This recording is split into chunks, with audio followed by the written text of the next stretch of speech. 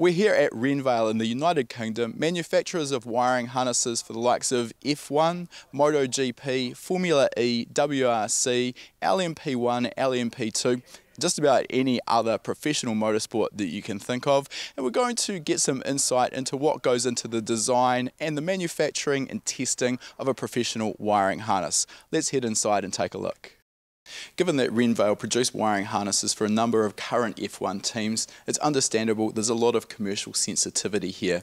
We're not going to be showing you anything from a current F1 harness, but we can look at some development on some of the older harnesses that Renvale have produced. There are a number of ways that Renvale can work with customers in order to develop a harness. One way would be an engineer from Renvale actually travelling to the team and producing a mock-up of the harness on the chassis. This ensures that all of the are correct and the position of all of the connectors are correct. This mock-up harness is made using cheaper connectors and not using the actual wire bundle itself and this just keeps the cost of the harness down. Once that mock-up harness is complete, can be brought back to Renvale and then it can be documented correctly where a proper harness can be created from that documentation. These days, however, is becoming increasingly common for the teams to do the design work themselves, producing 3D models of the entire car, including the wiring harness, and then these 3D models can be sent to Renvale and the wiring harness can be created from this. In some classes which are tightly regulated, such as Formula One, initially an overall design of the wiring harness is constructed, and this is a high level, low detail overview and it's used for homologation of the wiring harness to the FIA. Once the harness is homologated, it's not legal to then make further changes. Now, this particular design is only used for homologation. It doesn't have the detail required to actually produce a finished wiring harness. At the same time as the design is being homologated by the FIA, Renvale are also developing their own detailed construction plans, which is what the actual harness is constructed from. The next step of the process is for the technicians to construct the wiring harness as per the documentation. Now with Formula One in particular, weight and size of the wiring harness is a critical consideration and generally they'll be working with wire gauges between 22 all the way down to as small as 30 gauge. In order to standardise the wiring used in the harnesses as much as possible, there are very few colours used. Predominantly the wiring will be white and obviously this makes it difficult for the technicians to decide which wire goes to which connector location and this identification is achieved using coloured idents and these are essentially coloured pieces of heat shrink tube that are placed on the end of the white wire and the colour coding denotes to the technician which connector and which position on the connector that particular particular conductor needs to go to. In motorsport wiring harness construction in general, the technique of concentric twisting is relatively common, relatively popular. However, this isn't a technique that we'll see in Formula One harness construction. Instead, a parallel twist of the wires is used. Now, the advantage here is that no filler wire is required. This means that the harness weight is minimized as well as the bundle size. However, one of the advantages of concentric twisting, of course, is the added flexibility. Now this really isn't an issue in an F1 car because the harness is designed integral with the chassis. In some places it is supported within molded carbon fibre components, making sure that all of the harness is supported correctly and this doesn't need any additional flexibility. Beyond the basic construction, the normal techniques that we'd expect to see at the professional motorsport wiring level are used. The harness is sheathed and protected in Raychem DR25 and moulded boots are used at any transitions on the harness. Of course, Autosport connectors are used at any termination.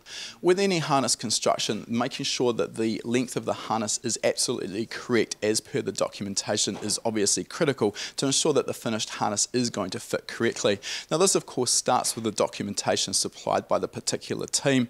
Depending on the length of the harness, this may be, for example, uh, plus 3 millimeters to minus 0. This might be over a length of perhaps 500 millimeters. Uh, Renvale's standards are actually a little bit more exacting than this, obviously trying to get the harness exactly as per the documentation to ensure perfect fitment. In F1 in particular, we see a lot of breakout boxes used where one single Autosport connector will go into a molded carbon fibre piece and multiple sensors will then be connected to individual Autosport connectors on that carbon fibre breakout box.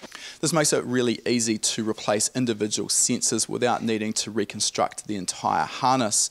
What we'll see here is on the back of some of these breakout boxes the harness is exposed, it's not actually sheathed because when the component is finished it will be sealed inside another carbon fibre piece. It's important however here to make sure that any relative movement of the harness to the carbon fibre enclosure is minimised and here a RTV sealant is used and this just makes sure that the harness stays stuck to that carbon fibre eliminating any movement and the potential for the harness to be worn through on the rough carbon finish.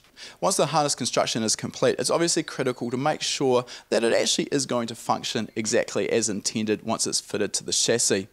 Renvale don't take any chances here, so they have a thorough testing regime that the components are put through. Let's head into their inspection area and have a look at how that works. Testing any harness is important to make sure that all of the terminations are actually going to the correct place, giving you the confidence that when it is plugged in, it's going to function as you'd expect. Now for us at the enthusiast level, we're most likely going to be doing this using the old-fashioned multimeter with a continuity test. Of course, that's painfully slow and it's certainly not going to work for the likes of Renvale. Instead, a Cirris Hipot tester is used.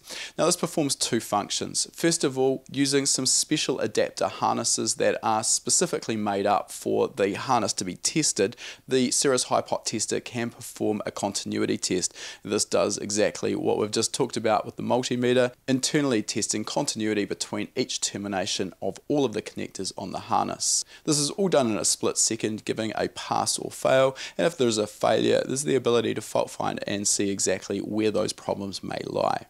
This is only one part of the testing of the harness though, just proving that there is continuity between the correct points on the different terminations. The other aspect of the Hipot tester is the actual Hipot testing, where a high voltage in the region of about 500 volts with very low current is applied to the harness.